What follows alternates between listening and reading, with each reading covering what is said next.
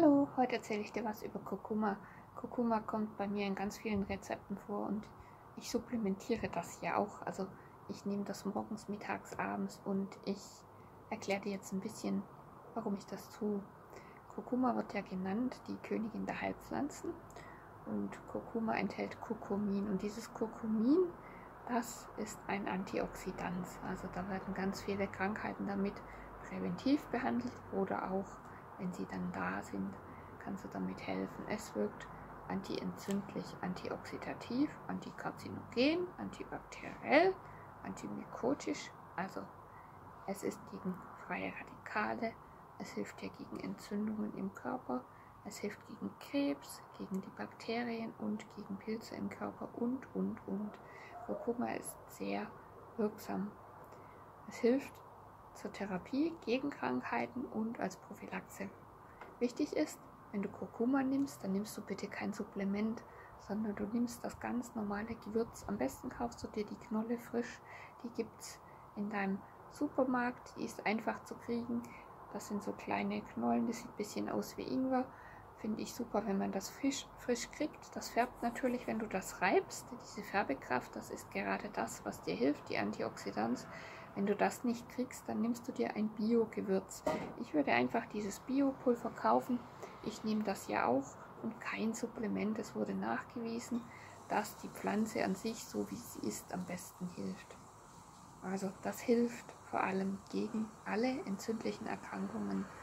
Vor allem rheumatoide Arthritis, da wurde auch eine Doppelblindstudie gemacht und da hat das Kurkuma, also der Kurkumin heißt der Wirkstoff im Kurkuma, besser geholfen als das marktführende Medikament.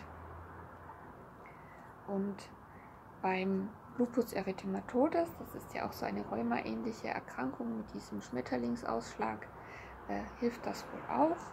Auch bei entzündlichen Erkrankungen wie Morbus Crohn, also das betrifft ja mich, deswegen nehme ich das. Und Colitis ulcerosa, also diesen entzündlichen Darmerkrankungen.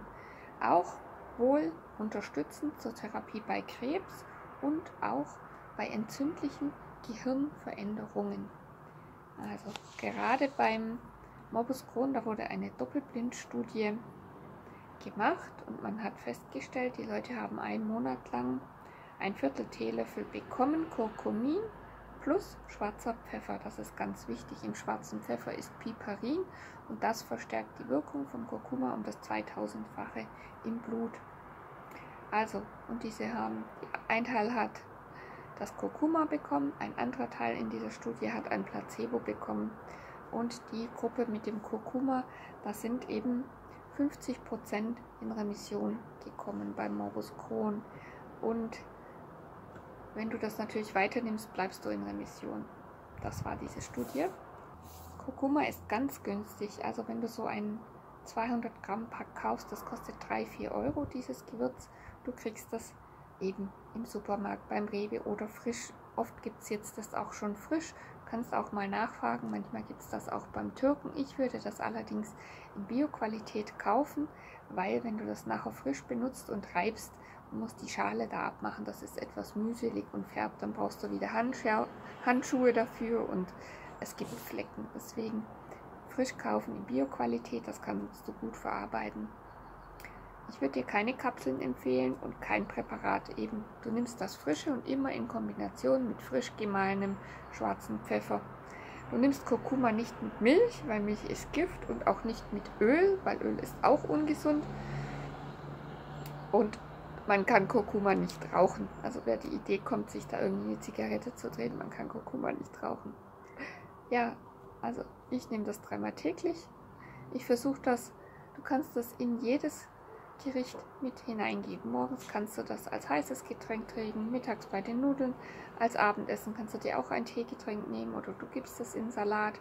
Also immer Kurkuma und schwarzer Pfeffer. Meine Empfehlung. Ja, bin schon lange in Remission. Ohne Medikament wird der Kurkuma sein. Das war's zum Kurkuma und schau in die Infobox da hoch. Ich schreibe dir da noch ein paar wichtige englischsprachige Videos rein zu Kurkuma und schau in die Infobox. Falls ich irgendwas vergessen habe, steht das dort. Gib mir ein Like, teile das Video, schau noch ein Video. Ciao.